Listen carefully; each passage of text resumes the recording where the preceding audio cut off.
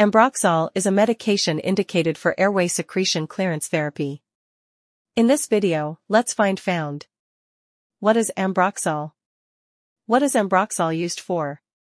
Contraindication. What are the side effects of taking Ambroxol? How does Ambroxol work? How to use Ambroxol? What is Ambroxol?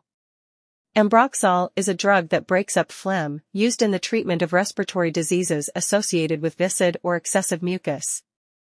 Ambroxol is often administered as an active ingredient in cough syrup. It was patented in 1966 and came into medical use in 1979. It was patented in 1966 and came into medical use in 1979. What is Ambroxol used for? Ambroxol is indicated for secretolytic therapy in bronchopulmonary disease with abnormal mucus secretion and transport. It allows the mucus to be more easily cleared and ease a patient's breathing.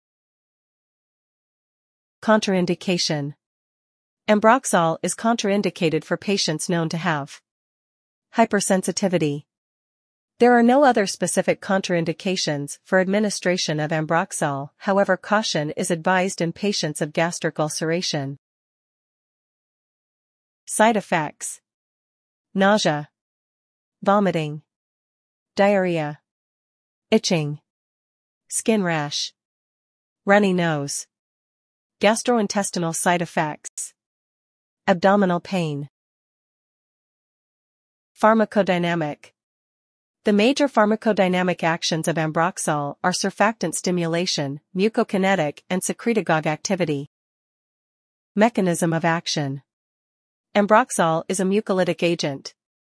Excessive nitric oxide, NO, is associated with inflammatory and some other disturbances of airways function.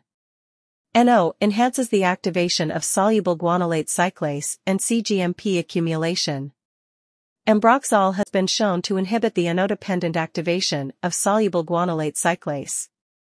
It is also possible that the inhibition of NO-dependent activation of soluble guanylate cyclase can suppress the excessive mucus secretion, therefore it lowers the phlegm viscosity and improves the mucociliary transport of bronchial secretions.